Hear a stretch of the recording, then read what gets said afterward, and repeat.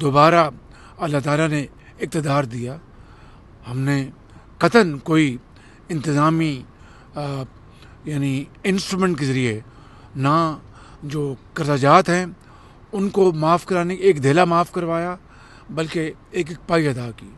تو اس کے بعد مشرف کا دور بھی دیکھا۔ جب ماڈل ٹاؤن کو گھر کو انہوں نے لے لیا دفتروں اور فیکٹریوں کو بند کر دیا گیا۔ آج عمران نیازی وہی دوبارہ دہرا رہے ہیں تو بڑے شوق سے دہرا لیں۔ انشاءاللہ اللہ تعالیٰ کے فضل و کرم سے ہمارے حوصلے بلند ہیں اور پاکستان کی مٹی کے لیے، پاکستان کی غربت اور بے روزگاری کے خاتمے کے لیے، پاکستان کی ترقی اور خوشحالی کے لیے۔ الحمدللہ Sharif family, P M L N, عوام کے ساتھ مل کر وہ سفر دوبارہ جاری کرے گی جب بھی اللہ تعالیٰ نے موقع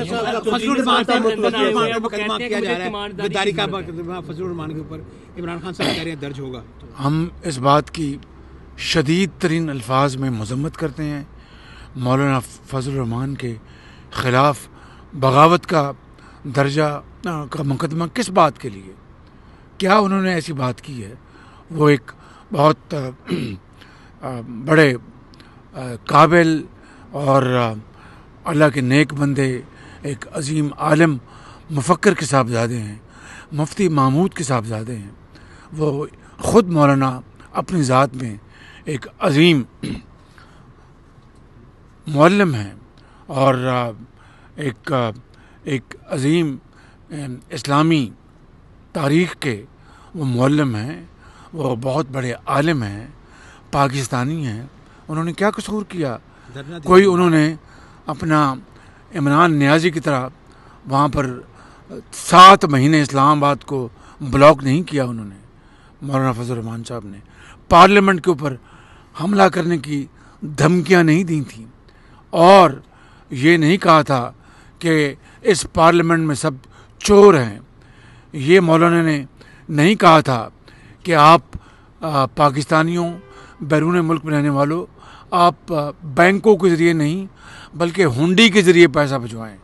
مولانا فضل الرحمان نے اس طرح کی کبھی بات سوچی تک نہیں۔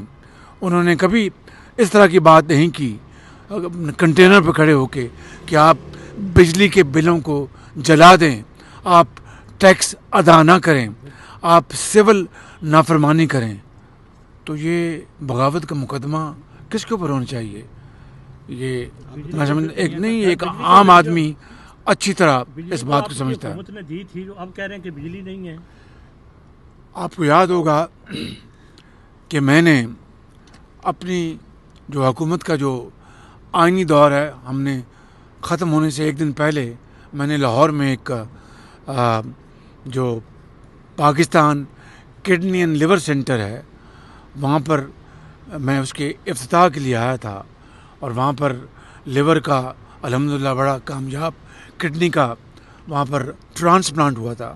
تو اس تقریب میں نے کہا تھا کہ پاکستان کے لوگوں، نواز شریف کی جو لیڈرشپ ہے، نواز شریف نے اپنے دور میں بجلی کے اندھیرے ختم کر دیے۔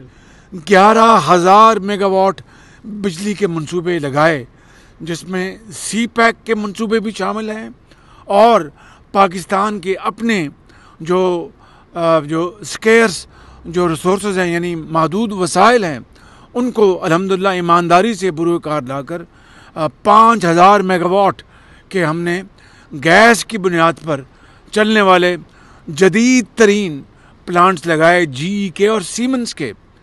اور آج یہ انہی گیس کے پلانٹوں کو بیچنا چاہتے ہیں۔ کیوں؟ چوروں اور ڈاکوؤں کے منصوبے کو تو کوئی نہیں بیچتا انہی منصوبوں کو بیچتے ہیں جو منافع بخش ہوں۔ تو جناب یہ منصوبے انتہائی منافع بخش ہیں۔ اصل میں ان کی نلائکی ان کی کوتا اندیشی ان کی کرپشن پی ایم ہاؤس میں چور اور لٹیرے بیٹھے ہیں جو دن رات چینی اور آٹے کی دلالی کر رہے ہیں سمگلنگ کر رہے ہیں اور ان کی جیبیں اربوں روپے سے جیبیں بھری ہیں۔ جو انہوں نے عمران خان کے اوپر اخراجات کیے ان پندرہ بیس سالوں میں، اس کو کئی ہزار گنا سے جم سے ضرب دے کر وہ اربوں روپے عوام کی جیبوں سے نکال چکے ہیں۔ اور آج آپ اس بات کا کس کو ذمہ دار ٹھہرائیں گے؟ کس کو تانا دیں گے؟ اپنی اپنا وہ گریباں میں جھانکیں تو ہر چیز ان کو مل جائے گی۔ ان کا ایک منصوبہ یہ نہ اس کی بنیاد رکھ سکے نہ اس کا افتتاح کر سکے۔ کہاں گئے وہ پچاس لاکھ گھر؟ کہاں گئے وہ ایک کروڑ نوکریاں؟ آج تو لوگ بے روزگار ہو چکے، لاکھوں لوگ بے روزگار ہو چکے۔ ایک گھر نہیں بنایا، لیکن لوگ بے گھر ہو گئے۔